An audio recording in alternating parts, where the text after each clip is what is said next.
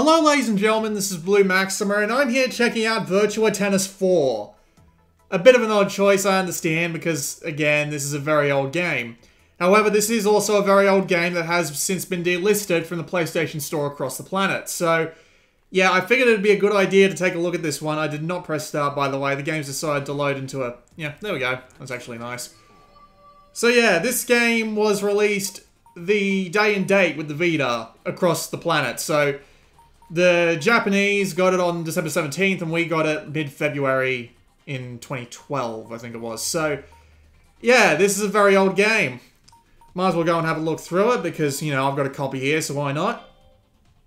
So, game settings are actually pretty nice. You can choose your camera, you can choose your speed, you can choose all that. If we go to controls, you can choose how you want your shot buttons to be. It's alright. And rear touchpad, no. Thank God they let us turn that off. And you've got audio volumes and strangely enough, the music volume's at zero and yet for some reason it's playing in the background. That's a little odd. I've Never noticed that. So if we go have a look around at the different modes, you've got arcade mode, which just puts you through a tournament of like four or five players. Exhibition mode, which is just free match. You've got practice mode, which is just a tutorial. You've got mini games, which I'll be able to show off through the World Tour mode. The VT apps is actually pretty interesting. This is all stuff that was added to this version. You can play a tennis match in first person, which is weird, honestly. There's also a two-player mode with touchscreen and buttons. There's the VR camera, and there's a exclusive minigame, which is somewhat neat, but we'll ignore all of them, because honestly, they're kind of irrelevant. You can actually play online, and it does work, or at least the servers are still up, but I couldn't find anyone to play with, unfortunately. I'm not surprised, honestly. There's also some interesting stuff in the World Tour online stuff as well, and my club will be able to check out in the World Tour. So let's actually go and have a look at the World Tour, since it encompasses pretty much everything about this game, which is quite nice. So I've got my game here. It's about uh, an hour or so long. You can change your difficulty setting. I'm going to keep it on experienced. And you can come here to modify your character. I'm going to leave my guy as he is, but I'll show you around all the different character customization. There's not that much to it. You can choose your serving form, for example, and your return and your forehand and your backhand, and it's just... You've got a fair amount of obvious stuff here. If we go back, we can modify a lot of stuff about the face, as you can see. It's not absolute. It's not absolutely fantastic, but at the same time, you've got pretty much everything you would expect here. You can change your hairstyle, your eyebrows, and your facial hair. It all works. You can make it look pretty nice. So anyway, we can go online during the tour, which we will do, because this game actually lets you download other players' players, basically, and you can end up playing other players' people. I ended up playing the most racist stereotype I've seen in a while, which was actually kind of hilarious. But as we can see, this is the world map, and the idea is we've got to try and get to the big tournaments. The big tournaments are the best way to earn fame, which are represented in those stars up in the top left. We also have condition up in the top middle, and the condition will determine whether or not you are basically capable of playing, and this screen is absolutely destroying my Vita kit's um, frame rate, so I'm going to try and avoid being on this screen as much as possible, but if we use the right analog stick, we can have, we can have a look around, and as you can see, it plays out basically like a board game. You've got those tickets on the right side there, and you have to use those tickets, and when you use the ticket, it's discarded, and you can move that amount of spaces. So I can move to the management office or like that. So if I come back down here, unfortunately, I'm going to have to progress across the sea a bit before I can move anywhere. Well, before I can really move anywhere. If I, It's actually probably a good idea to move on to this, because if I rest at the hotel, I'll get condition back. And condition is just, just determines how well you can play, so it's a, probably a good idea to keep that as high as possible. Uh, play a special match against a real star player, we might do that. We can also play a mini game and charity events. And you can earn money or lose money from these events, and you use this money to, if I hit the, if I go back, we've got a few other things we can do here. We've got the SPT rating, which is basically just a high scoreboard, a localized scoreboard for your current tennis game, which really isn't that important, but it's there to give you something to strive towards. And if we go to my club, we can check out the kit catalog, which is the clothing. So I've unlocked a bunch of stuff. You unlock stuff via doing specific things. So win the Smash Point Award four times, do, public do publicity work 35 times, etc., etc., etc., etc., etc. You get the idea, right? So you can you can come here and you can buy gear using the money that you've earned, and these sunglasses look bloody ridiculous. So if I try them on, yep, they look retarded. So yeah, you can come and buy a bunch of stuff here. You can also choose your doubles partner. You can actually get real life tennis players. So the last time I was playing this, I've actually played through the, this entire campaign and I've gotten a full on, I've gotten, um, I think it was Roger Federer as my doubles partner at one point, which was actually really cool. But anyway, you can also come and get a playstyle lesson. When you play mini games, you unlock, uh, you level up four different abilities. Your stroke, your defensive, your tactical, and your net play. And these unlock different play styles. And these play styles will give you different ways to get your special meter up. And when you fill your special meter up, you can do special a special shot, which will do a lot of favors. But right now, I can't really do anything else, and I'll stick with hard hitter. So, let's find some place to go. Uh, yeah, I really do think I should go and play the special singles match. It's a shame I can't do both at once. You have to decide what you want to do. Which is actually a really clever idea, because you can't do everything at once, right? At least a regular tennis player wouldn't be able to do everything at once. So, you have to pick and choose what you do, and you might just be inconvenienced enough to miss a good event and end up leaning on a bad, on a bad event. It's surprisingly compelling. Hey, there he is! Roger Federer. Good on him. So, let's give this a shot. Yes, this game has like two dozen something real tennis players, so yeah, it's quite neat. And I actually really love this court. It's on the it's on the on a really big ship. That's basically what I'm trying to say. So, Virtua Tennis is a lot more arcadey than other tennis games that I've personally played. So, it's, it's actually the only tennis game on Vita, but I've played a fair few tennis games, and it is really arcadey. So, your main shot buttons are... Whoops.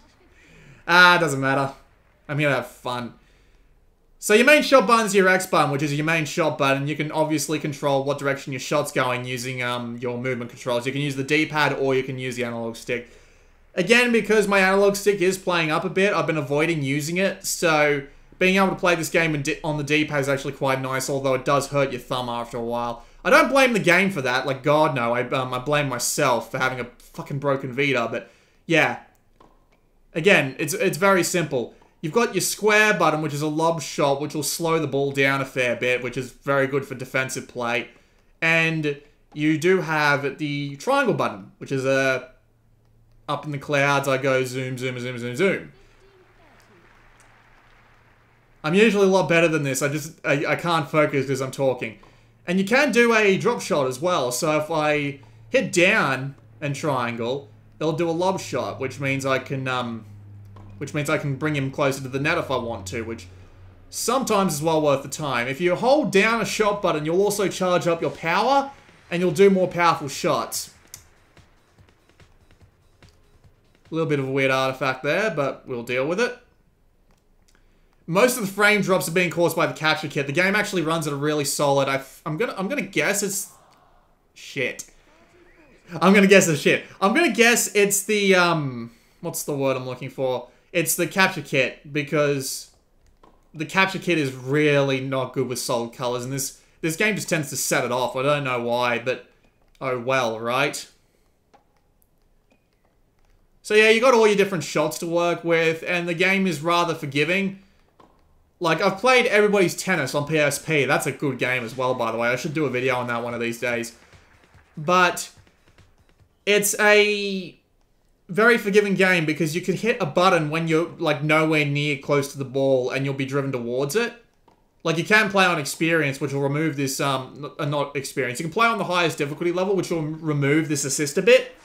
But Otherwise, the game is rather forgiving, and it's pretty good for um people who like tennis games but aren't very good at games. So you can come and have a lot of fun. And the game's campaign, oh god, whoop, there it goes. Damn you, Roger Federer. Although the game does tend to look a bit weird when it goes into those close-up shots. It seems to go into like 15 FPS or something, which is kind of odd, but not that big of a deal, because it's mostly skippable. Oh, shit. Oh, cheeky fuck. oh, man. All right. There is a bit more to it, though. It's definitely not an easy game. Especially later... Oh, god damn it. Son of a bitch. Gotta get... Gotta get my game back, son.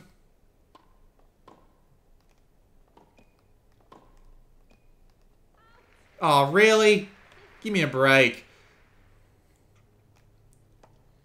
But yeah, the game's got a fair bit more nuance to it than you might expect. Obviously, the different types of chord affect the way th ways things play. You've got... All, all the AI is actually really good at times. It's actually kind of strange. Like, I played through the entire campaign, as I said, and I believe I've complained about this before, if anyone remembers, but I haven't actually done a game on a video on this game in particular, so I haven't really been able to talk about it in length. But once you get towards the end of the campaign, which involves like going through four different seasons, which is like all four different regions of the map, and you get to like the world's like the the biggest tournament in the world. I can't remember exactly what his name is, but it's big. Shit. It's big the the AI can get a little bit rubber bandy. It's kind of ridiculous, honestly, because you get um you get to a point where you're breaking ties with the AI really magnificently, and then they slow down a little bit, let you catch up, and like let you get like one set of points in front, right? And then you'll be playing, and they'll try to, and they'll get much better just out of fucking nowhere. Power shot. See how I filled up my power bar up in the top left there, and then I got to use that, which is quite nice because it it's taken us to a tie break, which is good because now tie breaks go for sets. I think it was seven, or is it like when you get five points ahead? I I can never remember with this bloody game. Like, who came up with the idea with 15, 30, 40? Christ almighty. Seems like such a silly thing to me.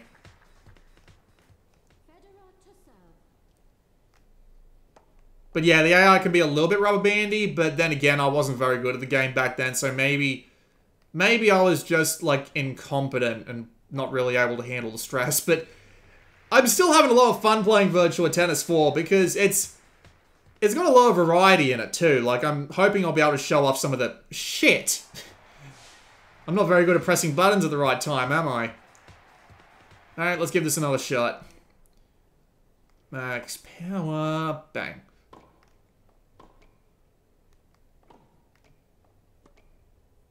There we go. Yep. That that was um the capture kiss file right there again. These frame drops are really annoying. But yeah, Virtual Tennis 4 is a lot of fun. The video, the mini games add a lot of shit. Should have seen that coming. The mini games add a lot of variety, which I'll be more than willing to show you because we've only been playing for about 10 minutes. And I really do like the way the board is laid out because, as I said before, it just, it really gives you the idea that you're on a schedule to get to where you need to be going and you need to be doing specific things like um, choosing whether or not to promote yourself or actually get into tennis matches, which is not really a good idea because you got to manage your condition and like it's not the it's not the most amazing thing in the world. It's pretty basic, but at the same time it's compelling, which is a oh shit. It's pretty compelling which is what I like to see in a tennis game.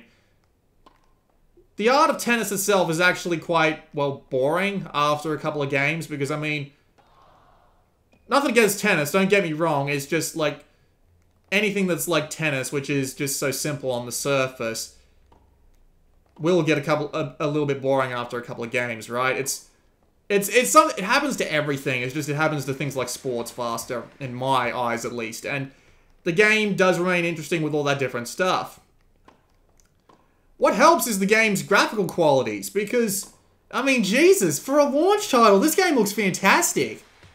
Like, even on the Vita, it looks a lot better in motion, because you can't really see the, um, you can't really see the uh, weird graphical effects that would tend to come up in a video that's been blown up to 1080p and then encoded on YouTube, because YouTube fucking sucks. Yes. I love winning against the pros. Like, I think they made the they make the AI the pros a little bit easier, so you can actually stand a chance early on when you don't have very many skills. But yeah, the game still looks bloody amazing. So it's really impressive they managed to pull this off. yeah, I actually get his gear so I can go dress up as him. That's pretty neat. So where can I move? Can I move to a mini game? I'll, I'll move down and get some rest. There's a shop down there and it'll let me buy special tickets. So I can buy specific move tickets. I can buy, um... What's, what is it that I can buy? I can buy... I really shouldn't have skipped that, honestly. Ah. Poor guy must feel a bit... Alright, we'll go to this shop. This is actually a special shop. Yep, so I get a bunch of stuff here. So, I can buy a bunch of different kinds of tickets. So, extend the active season by two days, uh, get a workout. I'll buy three random item tickets, because why not? You do even get fan mail and stuff like that. I mean, again, it's minor, but I, I really do like it. Alright, so I got a Move 2 ticket and two Shuffle tickets. That's a little bit odd, but anyway. Um, okay, I'll move to this. I won't waste your time with another game just yet. I'll actually show off a mini game this time. Actually, I can show off two, so this will be good. So this is one of the mini games. There's 10 in the game, and every one of them fills up a specific stat. So if you want to go for a specific type of play, well, that's it's probably a good idea to um try and focus on a specific set of games. So, this is wall tennis. The idea is you got to try and raise these walls and win the set. Well, not the set, the um the the point. And if you win the point, you get points. And all these mini games are based around the idea of earning points. If you earn enough points... Shit. I really should have seen that coming. If you earn enough points, you succeed in the training, and earning even more points will get you, like, bonus money, which is actually really useful. Shit. Did that to myself, didn't I? Admittedly, I'm not great at the mini games. I need a little bit more practice, but um, I mean, this is like the first time I've picked this game up in shit. this is the first time I've picked this game up in a while, so I just I need to get used to playing it again. Like, I'm pretty sure I put something like 15 hours into it back when I first got it, which was actually a really long time ago, but, um... I still enjoy the absolute shit out of it. As I said before, it looks bloody gorgeous. Other than those, like, weird performance dips that show up sometimes in the... Shit! Other than those weird performance drops that show up sometime in the, um... Like, after... After rally kits? Is it rally? Volley. Volley kits. Yeah, other than the somewhat weird frame rate drops that show up sometime there, the game runs at a really stable frame rate, like, all the freaking time. So... It really is a well done port. For something that came out when the Vita originally launched, it's actually really impressive, i got to say. Let's play chicken. I can't remember the exact name of this name, but it's got chicken in the name somewhere, or chick, or egg collector, never mind. Deliver the chicks to their mother. These games are actually kind of ridiculous, but anyway, here's the drill. Grab as many eggs as possible and try and avoid being hit by the balls. And the more chicks you get, the more points you get. And again, all these different mini games really do add up to a... All these different ad... Ah. Poor chick. Interesting concept for a mini game based around running towards the ball, but... Whatever. I, I won't... I, I, I'm not gonna draw too much attention to it. Oh, poor chicken.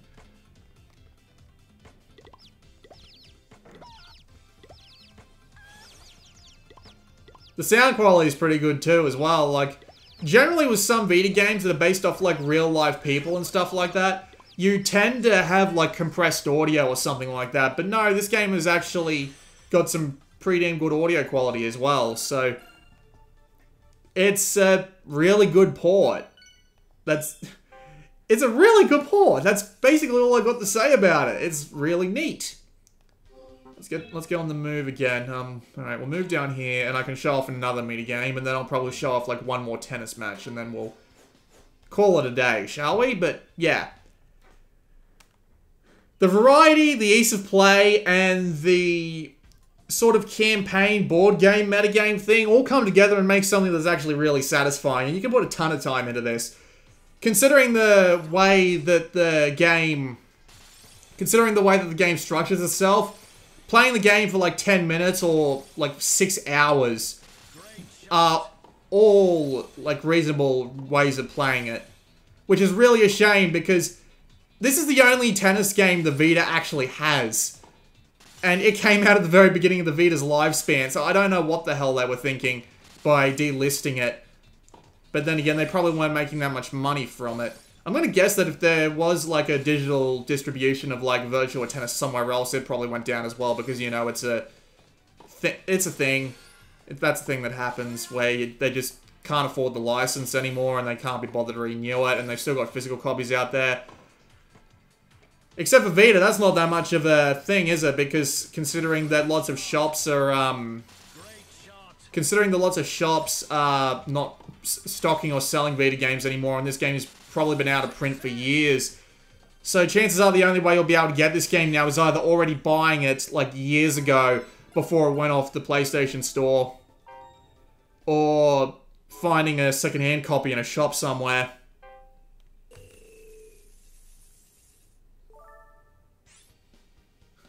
Yep, this is my home country, alright.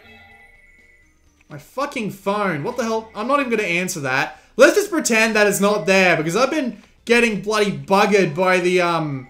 I've been getting bloody buggered by telemarketers for the past few days, and it's just get, it's just ridiculous. I cannot be bothered to answer this shit anymore. It's goddamn dumb. Please stop ringing the goddamn phone, you assholes! Uh, um, okay, if I move forward to here, then I can move forward to the next one. So I'll show off one more game, and then I'll show off another another tennis match. Because shut up, you stupid phone! I am so sorry. I really need to stop talking so loudly. But yeah, um, is that it? Yes, that was it. Thank God. I don't know what the hell they want. Anyway. So yeah, this game prioritizes accuracy over anything else. Full house. Full house. Full house. Four of a kind. Full house. I'm actually pretty accurate with my shots, aren't I? For the most part. You can, um, like, prioritize specific cards to get to get different poker hands. It's a shame you can't get like royal flushes or something, but you know. Full house.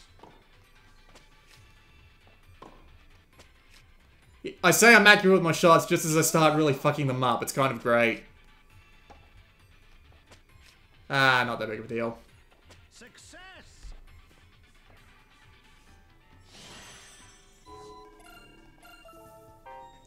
And you do get harder versions of mini games as well, so it's not like they stay relatively easy. Alright, we'll go have one more match of tennis.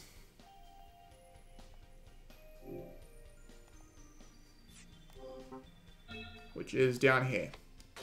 A Undexdaga. I imagine this is someone's um, custom-made character. I did play against a real pro, now you can see how I play against someone who isn't actually part of the game.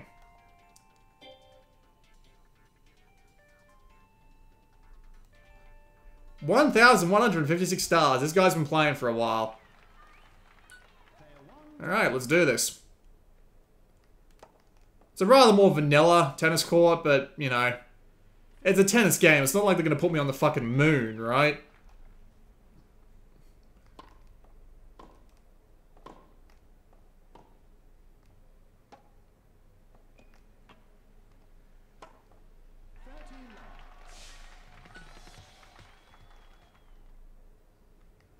But yeah, overall, Virtual Tennis 4 is freaking excellent. It's the best tennis game you can get on Vita.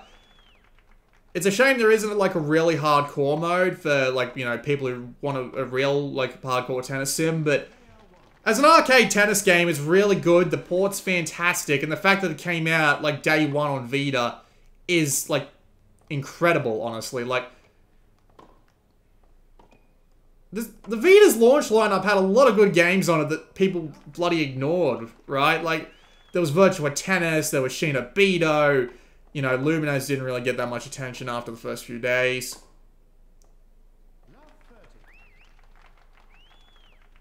It's weird to look four years back and see one of the best looking games on the Vita, isn't it?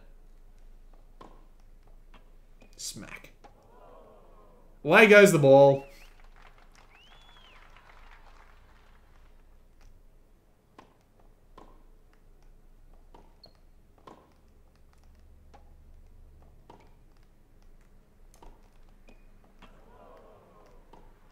Damn, almost had a perfect game. Doof. What is it with that tennis racket shape? Is it... That would be perfect for shoving up someone's ass if you're angry with them. But, I mean... Oh. oh, man. Try to be funny and... Wasn't even really that funny. And still managed to miss the shot. There we go. Slow that ball down a bit. Ouch. Well, now I'm in a juice. That'll be fun. And he threw his racket on the ground, despite the fact that he managed to draw me into a juice. Like, what? Why? Why does that make you angry, son? Whoop.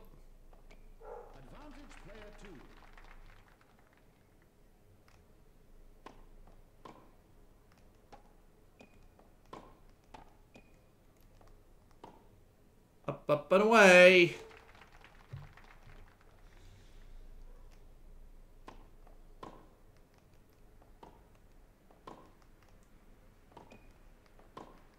Come on, mofo. There we go. Wrong move. ah, fun. Come on, then. Oh. Cheeky bastard. Alright, tiebreak time. Why does it always come down to tiebreaks? There we go. I love how the guy just has a dodge out of the way in the background. It's like, whoop! What, do you think you're in the Matrix, mate? Why so angry, guy? Come on.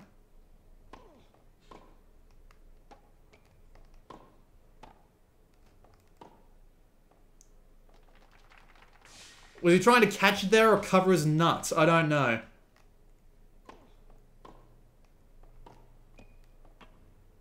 Let's get over to the... Here I am thinking he was going to go for me there. Alright, my turn again.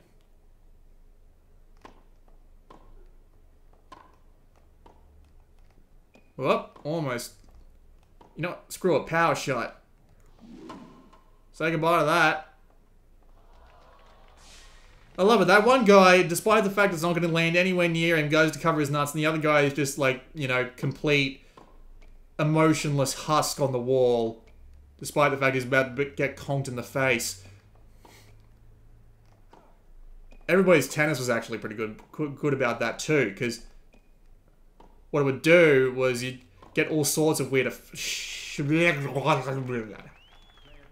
Excuse me. Smack.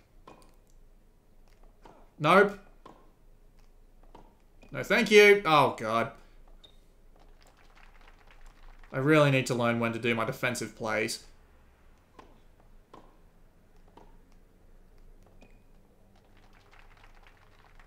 God, he's got the advantage over me. I might lose this. Amazing. Like, I, I lose to an actual, like...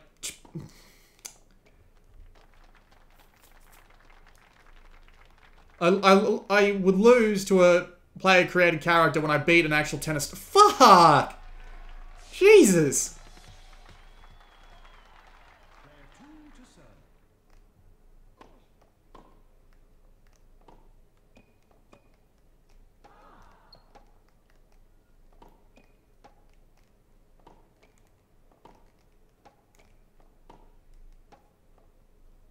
Ah, there we go. I had to lose one eventually. This is actually the first game I've lost since I started the save file, so Oh well, not that big of a deal. Yeah, but I get to walk out of there with my bag on my back and barely any fucking money to show for it, and I'm a lot worse in my condition at the moment, which means that when I do get around to getting to Australia, I'm going to be pooped. So, yeah. There's four of these different kinds of tourneys. They take a few hours to get through each, and uh, when you get to the very end, obviously, you'll have a big thing, and then you can uh, replay another year and get even higher on the standings and all that. So, yeah, that was a look at Virtual Tennis 4. It's a great port, and the fact that nobody ever talks about this is actually kind of disappointing, honestly. I mean, I watch like the Vita subreddit and stuff like that, and I just I'd never hear about Virtua Tennis 4. It's brilliant. The only reason I haven't kept it around is because it's like a gig and, you know, digital. Always going to be running out of room somewhere. So, yeah, if you see like a cheap copy of Virtua Tennis 4 lying around somewhere, pick it up. You won't regret it. And that's something I'm definitely not going to be saying about some other games that are coming up in this, like, sort of retrospective series. It's not really a series as much as it is just a thing I do from time to time, but yeah, so that was a look at Virtua Tennis 4. This has been BlueMaxima, and I'll see you all next time.